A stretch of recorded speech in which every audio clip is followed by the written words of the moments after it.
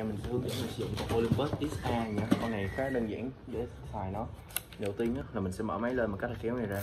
Mỗi lần chụp thì bạn phải kéo này cứng lên sau bạn khởi nhấn chụp. Rồi nó sẽ có hai nguồn pin một nguồn pin ở đây nó sẽ xài cục LR44 uh, LR44 hoặc là AG13 mình có tặng kèm bạn rồi. Rồi thì bạn chỉ cần đầu tiên khi muốn chụp máy thì bạn phải mua một cuộn phim xong bạn chỉnh ISO theo đúng dưới đây. Ví dụ bạn mua phim ISO như bạn phải đẩy cái nấc này về ISO đó rồi, và những chỗ thiếu sáng thì bạn thấy cảm giác môi trường nó hơi thiếu sáng thì bạn đẩy lên giùm mình thì cái flash nó sẽ hồi. Từ 5 tới 10 giây và nó sẽ kêu đây đây bạn hơi bấm chụp và sẽ đánh flash. Ok, dưới đây nó sẽ có những cái nút nấc để bạn chỉnh nè. Dù bạn gạt ở đây cái nó check pin nè, gạt đây là hẹn giờ nè. Khi mà lên còn, xong bấm nút chụp thì nó sẽ hẹn giờ và 10 giây sau bạn chụp.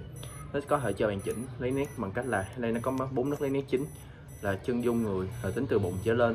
Cái này là full người và cuối cùng là phong cảnh.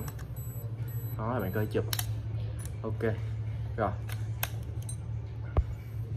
Tiếp theo về cách lắp phim thì bạn sẽ đóng máy vô kéo cái này lên giùm mình nè. Xong giật mạnh cái nó bung buồn phim ra thì bạn sẽ lắp phim theo clip mình chỉ nha. Rồi flash nó sẽ có thể rỡ rời ra bằng cách là bạn nhận ốc này ra nó sẽ rỡ, rỡ cái flash này rời ra.